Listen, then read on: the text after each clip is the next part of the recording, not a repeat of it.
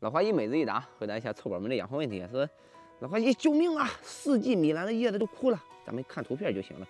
缺光还是有点缺光，然后呢，不排除温度低，好吧？你看冷十度以下，我一看就是这样了。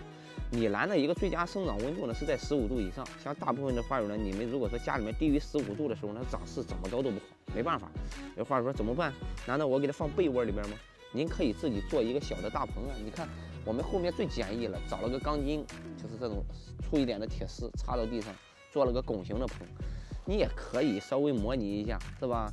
就像看谁家扔的那个装空调的那种大的塑料袋子，你给它套一套啊，晚上冷的时候，是吧？甚至说白天都可以套，光照好的时候让它暖和暖和。你温度这一块，你用啥也没用啊！你能让我怎么办？我也没办法，好吧？这个又不通风，对不对？哎，没办法。这个不是缺水啊，就是冷，别的没啥。你只要天气好一点，你像夏天的时候，很多养米兰盆景的臭宝一天都得浇两回水，这跟水有关系吗？那跟水没关系，就温度。下臭宝说：“帅哥，这个过年回来黑天鹅咋回事啊？黑天鹅那不缺水了吗？这还用问吗？宝儿快干死了，你这这这个，嗯 快旱死了。现在能做的是什么呢？就是丢到一个大的水盆里面，在那咕咚咕咚咕咚喝一遍透水，反应不过来的叶子就剪掉。”就剪叶子就行了，它会再长出来的，这个没事，应该是死不掉。下个臭宝说老花艺，我的鳟鱼秋海棠叶子黄色的，有点枯萎的点儿，如果不多就没事。我看了一下，你光给我看叶子哈，我就能猜出来你那个盆土还是有一些个积水沤根。就是总体来说呢，很多的花友老是把握不了这个浇水跟那个通风，很多花友也很郁闷，就是我们来你大棚里面看的时候，摸着你们那个盆土都是潮的。它能不都是潮的吗？你没有见过干的时候，因为我们要看见干了，这些个工人他就得倒霉了，就得挨批评了。他肯定是干了就得浇，不干不浇。我们棚里面呢，一个是温度很合适，它的一个叶片蒸发速度也很快。你像咱们家里面它就不具备了，你家里面没有蒸发速度那么快的时候，温度也没有那么高，你浇的水一多，它不是说我们这个浇完以后两三天还得再浇一回，您这个浇完以后甚至说一个月不用浇，结果你手气又浇了，它不就积水沤根了吗？对吧？所以浇水呢，还是拿捏那句话，干了才浇，不干不浇。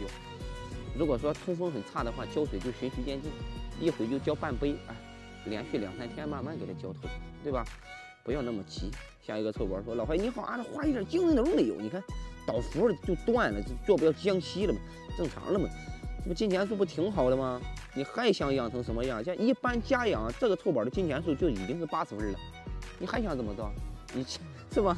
你又不可能把他们家里面改造成温室大棚这种，空气湿度很高很温润，这已经很好了。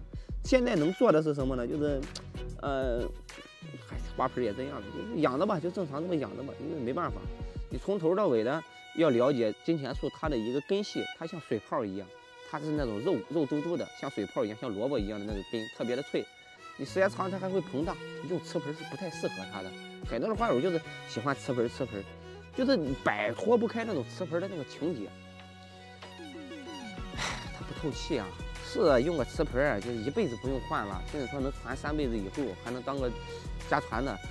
其实它不是真的不太适合养花。你如果说真对这些陶瓷感兴趣，你就换成紫砂的或者陶的，是吧？加个错吧。那那个新年好啊，小苍兰最近叶子发黄了，该咋办？给它剪了呗，那有什么办法？你看一盆里边有三四颗，总有一颗长不好，那不很正常吗？你像兄弟姐妹四五个，总有个没出息的。你说人四五个都出息，对，哼人爹妈好，你这当爹妈的，你怎么给人养的？你自己心里边没点数。剪了吧，这根没救了，好吧，把其余的剩余的三颗养好就行了。用的土也挺不错的，啊，然后我看着还是有点缺水，您浇水的时候是有时候浇的不太透，还有点缺肥，别的没啥，别的没啥，不好的就直接剪了吧，放弃它们，留好的养。老花姨，请问栀子花反面发，你这是咋整的啊？你还能干成这个样？都这怎么能养成这个样呢？这家里边温度多少？你也没说，叶子都这个样子了，这个一看就是冷了。然后呢，就是有一些个冷，就主要是有些个冷，别的没啥事，别的没啥。它跟多肉不一样，栀子花五度以下就整体的不好了，多肉零下三度都没事。你旁边这几个小多肉，是吧？别的没啥呀，是不是刚换完盆之类的，有点沤根，是不是也用肥了？这就冻伤、肥伤，别的没什么体现，好吧？好了，每日一答呢就到这了，小不说，记得点个赞啊！其他养护题视频下留言，我是老花姨，养花就等你，拜了。